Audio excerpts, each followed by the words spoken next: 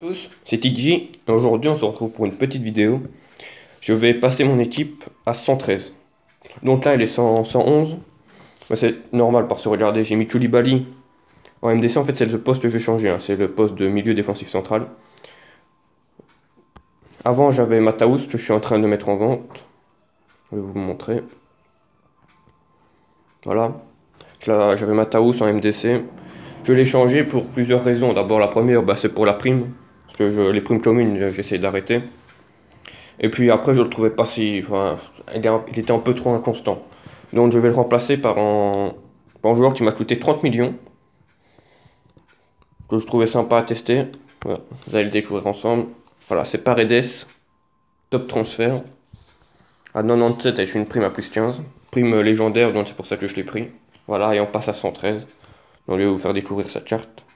Je l'ai prise pour euh, quelques raisons. Déjà, la première, c'est que c'était le MDC moins cher, avec une prime légendaire et une grosse note. Et puis après, ben, je me suis dit pourquoi pas le tester, parce qu'il y a pratiquement personne qui le prend. Donc, euh, bon, c'est peut-être qu'il y a une raison, hein, peut-être qu'il est pas très fort, mais voilà. Donc voilà ses stats. Sont, sont quand même assez, assez, assez, belles, je trouve. Voilà, de la puissance, beaucoup d'agressivité pour MDC, c'est bien. Pas mal en tacle debout, en tacle lycée. Voilà, en passe, il est très bon une bonne vitesse, celui-là. Il a 90, donc c'est pas mal. Il a la roulette, très bien. Le mètre 80, c'est pas trop grave. Et voilà, pas mal de caractéristiques spéciales, donc, euh, franchement, euh, très belle carte. Donc je suis aussi passé à 113 pour quelques raisons de plus. J'ai amélioré mes primes légendaires à plus 15, comme vous voyez. Les Sergio Ramos, Zanetti, Fabian et alors Paredes, sont passés à plus 15. Je vais juste vous montrer la carte de Sergio, voilà, qui est tout simplement incroyable. 107 en vitesse, 133 en défense, 133 en physique. À ce qui paraît, il est infranchissable. Ce qui est dommage, on peut pas tellement les tester, nos défenseurs.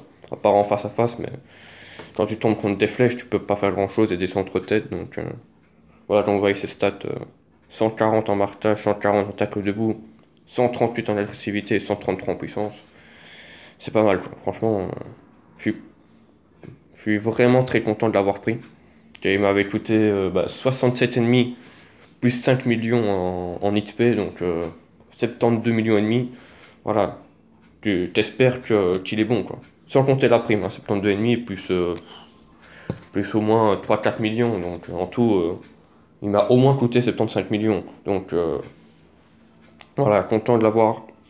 Voilà, donc c'était juste une petite vidéo pour vous montrer que je suis passé GN 113. dans l'après-midi, je ferai des matchs sûrement face à face. Parce que quand, je vais vite vous montrer que, comme vous voyez, ça se termine fin de saison dans 35 heures. Donc, ce que je vous conseille, bah, c'est de faire aussi vos matchs pour essayer d'avoir le maximum de packs. C'est des et des, des, des, crédits, donc euh, c'est toujours bien. Ben, voilà. Bonne, euh, bonne journée à vous. Bah, je vais sûrement faire une vidéo après-midi, je vous ai dit, donc euh, voilà. Merci d'avoir suivi. N'oubliez pas le petit pouce bleu, de s'abonner et les sentiments frère.